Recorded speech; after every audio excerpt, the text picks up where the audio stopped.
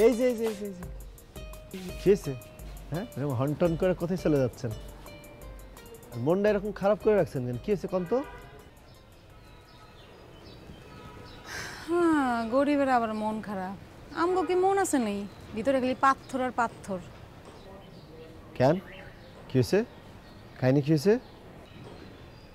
মনে হয় না এই বাড়িতে আর বেশি দিন কাম করতে পারুম। হয়েছেটা কি? আমার খুলে কত বাড়ির যে বেটি হ্যাঁ। এই বেটি তো আমার সহ্যই করতে পারে না। কেন? কি করছে সে? এই বেটির কাছে কে জানি বিচার দিছে যে তুমি আমার ডিস্টার্ব করো আমার লগে কথা কইতে চাও। আমরা ফুসুর ফুসুর করি। আর হেই বেটি এটা হই না আমার ইচ্ছা মতো জাললো ফইনি একটা। আমার নামে বিচার দিছে? হ্যাঁ। আমার নামে বিচারটা দিল কে? হেরা আমি কেমনি কমু? তবে মনে হয় না এমনি চললে বেশি দিন এখানে কাম করতে পারো হইব না। বাদ। শোনো তুমি কি করছ কত তোমার যদি জায়গার চাকরি না থাকে আমার কি চাকরি থাকবে এখানে?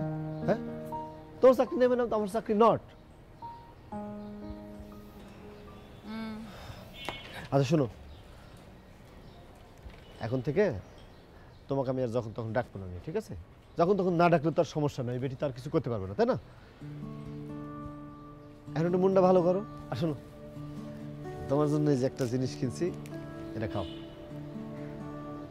কয়েকদিন আগে কিনছিলাম দিবু দিবু করে ভুলে গেছি। শুনছি এটা খাইলে নাকি মন এমনি ভালো হয়েছে আচ্ছা আমি যাই। নাহলে দেরি করে আনলে আবার আমরা যাব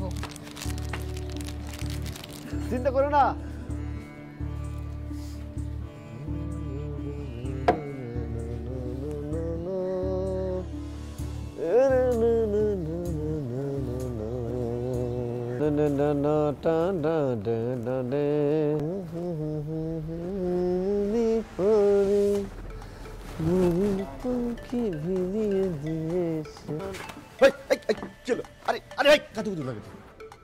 কি করছেন?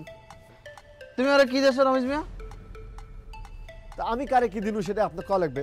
আহ সেটা বলতেই না আমি বাসার ভবিষ্যৎ একজন বাড়িওয়ালা তুমি জানো না? আর শোনো রমেশ মিয়া তোমার একটা কথা বলি। আমি বাসার একজন রেসপেক্টেড ভাড়াটিয়া তোমরা বাসার মধ্যে বসিয়া কি কি ঘুসুর ফুসুর মুসুর মুসুর করো আর সব কিন্তু পাপুবের চোখের মধ্যে থাকে পাপুবে কিন্তু চোখের বাইরে কোনো কিছু যায় না। ভালোই যাও ভালোই তো পয়সা লাগে না। আমি ভালো হব না। কি করবেন করেন তো জানতো? কি করবেন মানে? আমি বাড়িওয়ালার দ্বারা বিচার দেবো তোমার চাকরি কিন্তু একালে নট হয়ে যাবে দেন বাইরে ভাই আপনি দুইটা হাত ধরি দেন। আপনি বাড়িওয়ালার কাছে গিয়ে বিচার দেন আমার নামে। ঠিক আছে? আপনি যখনই বিচার দেন আমার নামে তখনই আমার একটা করে উপকার হয়। এর আগে বিচার দিচ্ছেন তখন আমার চাকরি কনফার্ম হয়ে গেছে। এবার বিচার দিলে আমি শিওর যে আমার দুই চার টাকা হলো বেতনটা বৃদ্ধি পাবে। ভাই আপনাকে যান ভাই এখনই যান। মেয়া কি সমস্ত কথাবার্তা বলতে আসছো যেটা জিজ্ঞেস করি সেটা বলো রমেশ মেয়া।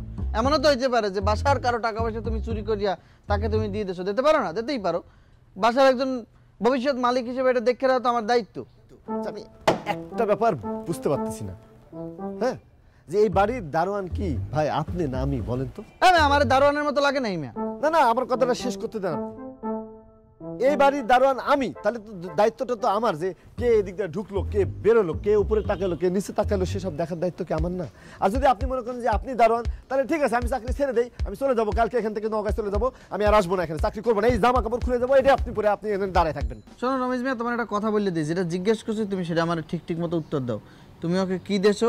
আমাকে ঠিক মতো বলো কি দেছো তুমি ওরে? বাবারে বুঝামুখী দিয়ে রে বাবা? এই সমস্ত আকাম কুম করো হেই লেগে আবার আমারে দাও চকলেট ঘুষ। ঘুষ দিব কেন? আমি তার এটাই দিছি।